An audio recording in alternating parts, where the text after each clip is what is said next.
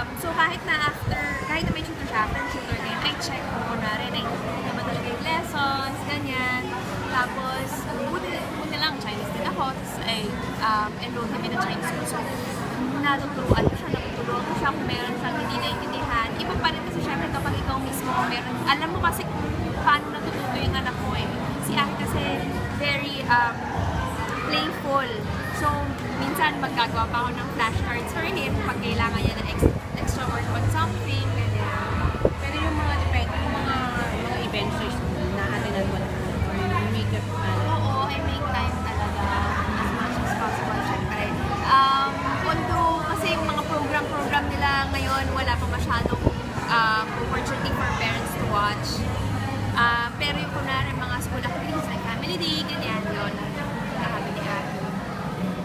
ano, aware naman si Aki na artist ka, na madalas ka rin ba niya napapanood sa Yes, ngayon especially 6 years old na siya. So very aware na siya of his surroundings. Um, pero lang dumating sa isang point, siguro mga 4 years old siya, medyo natatakot siya na bakit kilala daw siya ng mga tao. Kasi may, hi Aki, may gumagano sa kanya. ano yung name ko? Gumagano siya sa akin. Tapos ina-explain ko naman sa kanya slowly. Tsaka when he was younger, napanood niya ako sa TV. Tapos eh, daw. So sabi ko sa nagalaga sa kanya na time, huwag mo papanoorin ng TV. Kasi hindi ko alam kung anong in-air that time. So baka mamaya, umiyak na umiyak akala.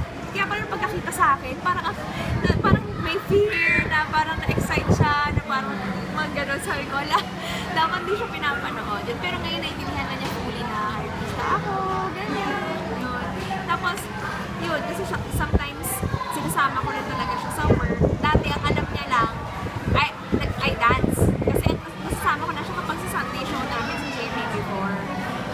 siya nasama sa taping kasi um, nagsi-school na rin siya. Tapos, minsan yung location namin, medyo magulo. So,